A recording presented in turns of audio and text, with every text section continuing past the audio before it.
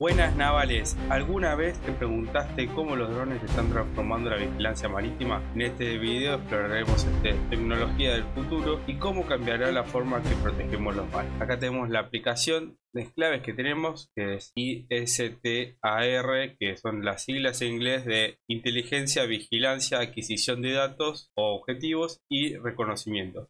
Básicamente proporciona inteligencia en tiempo real para rastrear buques enemigos, monitorear actividades costeras de día y de noche, incluso en condiciones de baja visibilidad. Después tenemos lo que es el control fronterizo y seguridad marítima que extiende el alcance de la vigilancia de la flota para detectar embarcaciones sospechosas para operaciones anticontrabando y antipiratería. Y después tenemos lo que es también en siglas en inglés el SAR, que es vigilancia marítima y operaciones de búsqueda y rescate. Ofrece una ventaja de respuesta rápida para localización de personas desaparecidas, transmitir imágenes en tiempo real, para equipos de rescate. Otros aspectos claves a tener en cuenta, que es lo que veníamos diciendo, es la versatilidad y, la flexibilidad de despliegue de estas aeronaves. Vamos a ver cuál es la diferencia de tamaños, de vuelo estacionario y maniobrabilidad de precisión, que es muy parecido a lo que es un helicóptero. Después tenemos las capacidades extendidas de vigilancia y reconocimiento, que es esto de que las cámaras mismas tienen sensores, por lo tanto hacen mucho más fácil el reconocimiento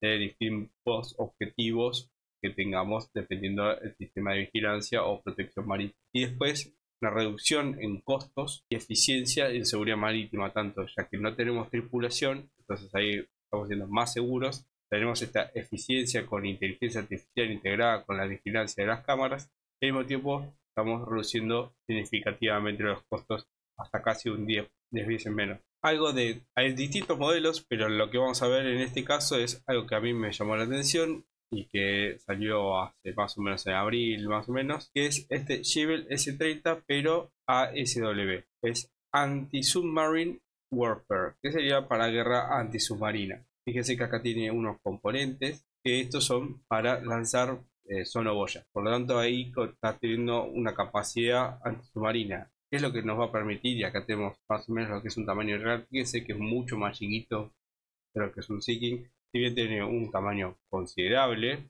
y tiene un peso considerable, no es, no es lo mismo, no es el mismo tamaño, por lo tanto, donde nosotros podríamos llegar a tener un hangar con un Seeking, podríamos tener dos o tres de estas unidades, por lo tanto, hacer una red boyas mucho más eficiente o complementarlo un Seeking con uno de estos o dos de. Estos. Por lo tanto, esto funciona así nosotros podemos, en vez de tener una zona de detección y poder tener un traqueo monostático, podemos tener biestático o triestático haciendo una triangulación con, con estos drones que vamos haciendo. Por lo tanto, podemos detectar más zonas para poder eh, detectar elementos submarinos no identificados como puede llegar un submarino. ¿Dónde lo podríamos aplicar? Bueno, como les vengo diciendo, lo que yo creo que es más relevante y hoy Argentina con poco presupuesto, casi rasgando los 0,6% del PBI, teniendo falta de lo que son eh, en algunos OPV la, los seeking. Y bueno, implementar estos sistemas es interesante. Acá podemos ver que es el hangar y esto es la, cubierta de avisaje de lo, de lo que es eh, estas aeronaves. Y acá te podemos ver que en este eh, los patrulleros tienen esta parte de lo que es las lanchas rápidas. Por lo tanto, para completar el sistema se necesitan aeronaves. En el caso de que nosotros tengamos una armada que tenga poco presupuesto o queramos eficientizar esto o complementarlo con más área de, búsquedas y que un mismo buque, una misma OPV pueda tener más despliegue, bueno, estos sistemas de, que, les vengo contando son interesantes. Fíjense que vamos a hacer un análisis comparativo de lo que es un Seeking y lo que sería este tipo de eh, UAV. Los dos tienen despliegue vertical, pues son helicópteros, uno es tripulado y el otro no. Fíjense la diferencia en tamaños de lo que es la longitud, eh, el diámetro del rotor, por lo tanto es bastante significativo. La reducción más o menos es cuatro veces más chico lo que es el, volumen y lo mismo va a pasar en peso, va a ser 10 veces más chico. Pero bueno, también tenemos limitaciones de lo que es la capacidad de despegue y para qué tipo de seeking es más maleable, lo podemos llevar con tripulación, hacer rescate principalmente y demás.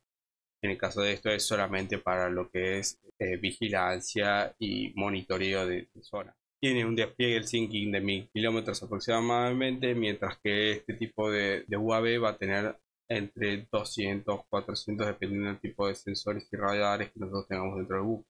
Las velocidades son significativas en ambos casos, por lo tanto no estamos perdiendo esa capacidad. Ambos tienen sistemas sonoboyas, radares, flare, eh, que en el caso del UAV es opcional. Ahora, lo que radica y cuando lo que es interesante, que podría ser para la Armada o para la Prefectura, es esto que vemos acá que un Sikorsky va a estar eh, más o menos rondando los 11, los 10, 10, millones de dólares, mientras que estos van a estar rondando los de guerra antisubmarina. Los otros van a estar rondando más o menos 600, 500 eh, mil dólares, mientras que estos con guerra antisubmarina pues tienen otro tipo de tecnología, y más durabilidad y tienen que después llevar esta carga. Bueno, ahí sí estamos hablando de 1.5 millones de dólares más o menos. Es interesante ver que más o menos para un eh, Seeking que estamos comprando podremos estar comprando entre 10 y 11 más o menos eh, de estos tipos. Por lo tanto, ahí podemos ver que podemos hacer como una combinación en el caso de que tengamos un presupuesto escueto y hacer un despliegue mayor y combinatorio haciendo como que estos Seeking que hoy, ya tenemos o que se pueden llegar a comprar sean como si se quiere buques madre o eh, aeronaves madre de una flota de drones haciendo complemento con lo que es la OPB y las lanchas rápidas. Por lo tanto, tenemos un despliegue mucho mayor con un presupuesto más limitado. Te recomiendo que veas el siguiente video para seguir profundizando el tema. Si les gustó, no olviden darle like, suscribirse y comentar con sus preguntas o sugerencias para futuros videos. Nos vemos, navales.